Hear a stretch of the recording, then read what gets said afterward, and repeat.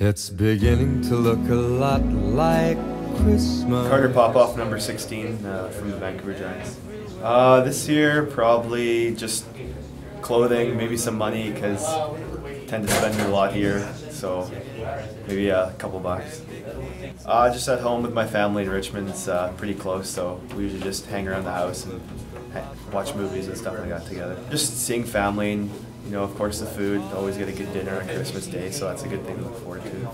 Best present I ever received, probably when I was, I think, six. I had got a hockey net and it was sitting in my living room when I woke up, so that was pretty cool.